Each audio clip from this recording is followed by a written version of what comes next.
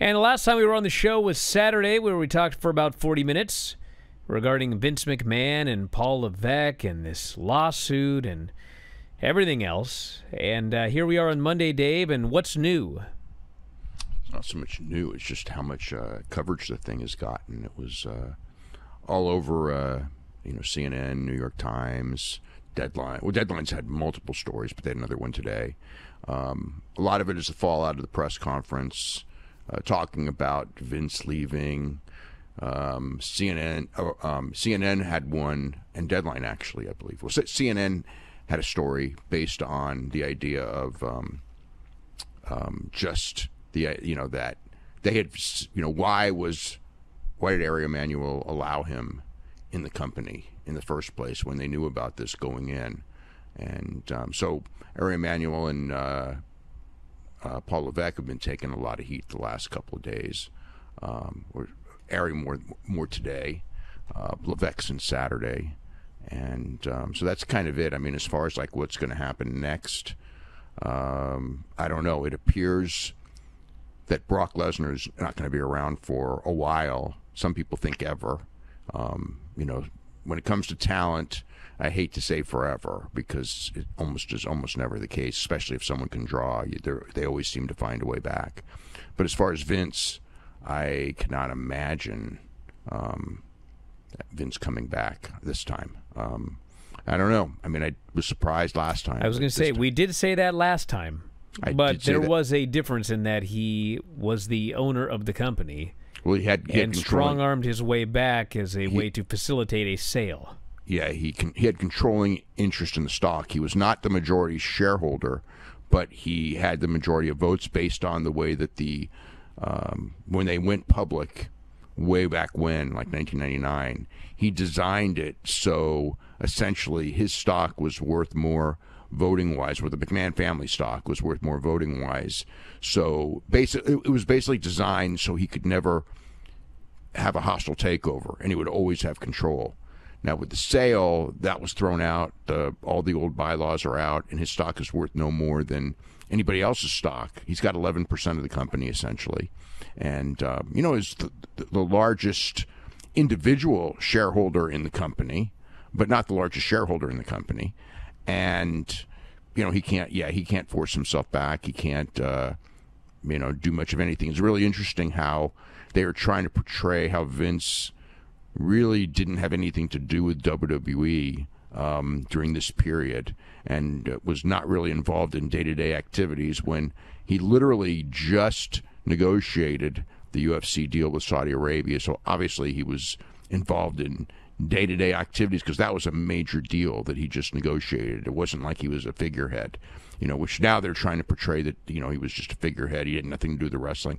And obviously he had, he, you know, Ari did take him away from the creative end of the wrestling fairly recently. I mean, he obviously had um, input until, you know, what, October, November, you know, before he was pulled from it.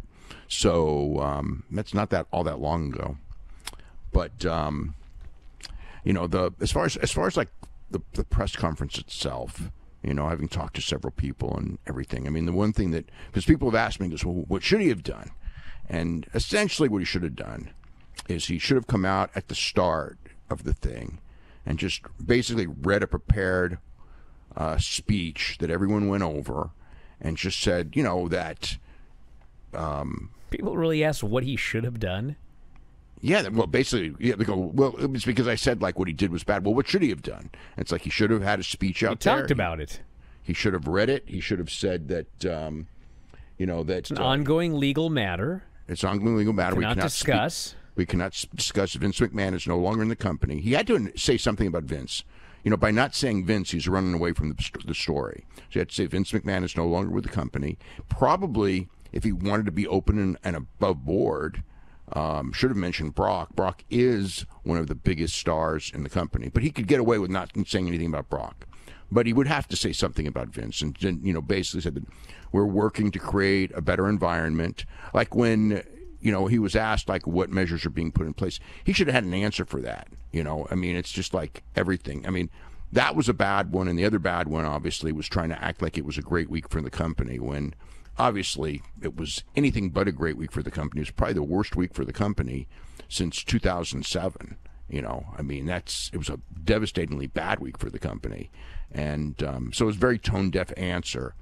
And um, yeah, I mean, that's probably a lot of what he should have talked about. Um, you know, they sh- probably should have had something to talk about how, um, you know, just kind of like uh, you know something as far as like you know you know as far as like just the the healing of the company and we're you know going to not allow you know we were working hard with measures and things like that in place and something you know he gave them nothing. And obviously I know some people who said like well you know what he should have said and he you know he didn't make it any better. And I know a lot of people are calling for his head and there's probably um, you know, and Ari's getting a lot of, of um, you know, negative coverage right now too, um, which he deserves. But um, as far as like anyone should they go, I think that we need more information um, before you're saying somebody should be gone. I, but I do think that we, you know, they need to investigate and they need to, you know, not the one that they did the last time, and they need to find out you know, again, it's like who knew? Lots of people knew. You know, I mean, we know that. Um, but I mean, as far as you know, what happened um, or what has been happening or the culture there, you know, I mean, that's uh, that's something that really needs to be coming out. I mean, because obviously there's there's, there's a lot more. It's been around for a long, long time. Yes, it stops and ends with Vince McMahon. He was the guy at the top, but um, as somebody said to me tonight, um, the whole place from every from the walls and everything was, uh, you know, pretty much crawling with, you know, bad things, and they need to blast that place up, and they kind of do.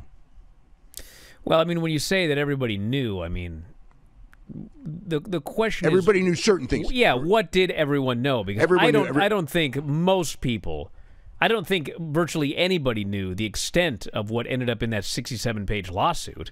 I think a lot of not, people not, suspected not, that Vince had girlfriends and, you know, Laurinaitis. You know, I, I think, you know, there have been stories about stuff like that forever, but not to this degree. I mean, there was nobody, no. there was not one person that I talked to, and I talked to a lot of people that read the lawsuit and went, oh, you didn't know about that? Nobody said that.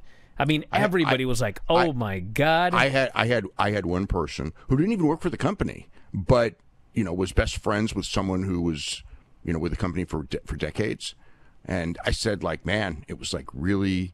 Um, I learned, you know, there's a whole lot there that I'd never heard before. And just goes, "Why are you so naive?" He goes, he goes like, you know, I was friends with X. I knew all of it. Wow. Well, what is uh what is the end game? I mean, obviously, but uh, Janelle Grant's lawsuit. Well, I mean, it's really interesting because you know, at the end of the day, I think that a lot of people now, as as when these things happen, you know, you want to see the thing go to court. You want to see the truth come out, and again, like in most cases, almost all in these situations, um, you're not going to see that. And you know, what's going to end is because Ari can't allow it. He can't allow this thing to go to trial. I mean, there's there's no way. And really, even her side, it's going to trial is a big risk because, you know, there's no guarantee that she's going to win. But, you know, I mean, if she's convincing and has this story, you know, she could win a ridiculous amount of money because a jury, if a jury is sympathetic with her, um, and these stories are, and and these and there's accuracy in these stories. Um, Vince and and uh, you know and the company because the company's liable too. The company was sued. It's it could be pretty devastating, and the stuff being out in public in a in a lawsuit would be you know it'd be giant news. It'd be a, a week far worse than this one if this thing actually went to trial. So it's not going to. Just like you know all the lawsuits, there'll be a, there will almost surely be a settlement if WWE isn't able to throw the thing and get the thing thrown out and I doubt it will go to discovery because God knows what they could find out. But I think that the key when I saw like um, Ann Callis on uh, on TV talking about this, the thing that really hit me was, you know, obviously, you know, again, looking for a settlement, but more hoping that this story brings out more people, you know, because it's like the feeling is is that she's not the only one. And it's hard to believe, you know, I mean like again, there may be there may not be anyone else with the story's quite this gross and having the cell phone um, text message stuff that's quite this descriptive. There may not be anyone else this this bad, but the idea is we know that there are others because there were, were there other settlements, and the idea is to you know make it to where.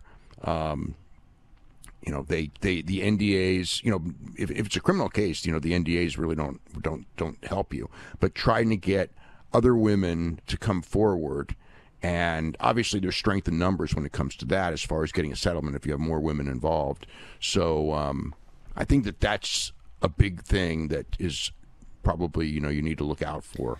Well, we don't know if anything do is as bad, but somebody did bring up today that what was her her supposed what was the settlement supposed to be before he stopped paying like three million dollars? Yeah. Didn't he have one out for like eight?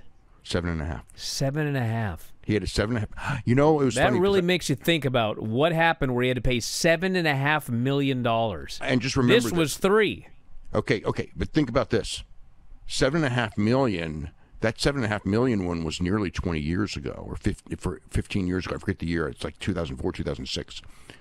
That's, you know what I mean? Like like seven and a half million today is worth a whole lot more than seven and a half million then. That's you true. know, you talk, and the other thing too is is you know, when we talk about that seven and a half million, that specific woman made more money as a performer in professional wrestling than not everyone. Obviously, like if you know, talking about Brock Lesnar, or Roman Reigns, or Austin, or Rock, you know, Undertaker, those guys made more, but she probably made more from WWE than Bret Hart.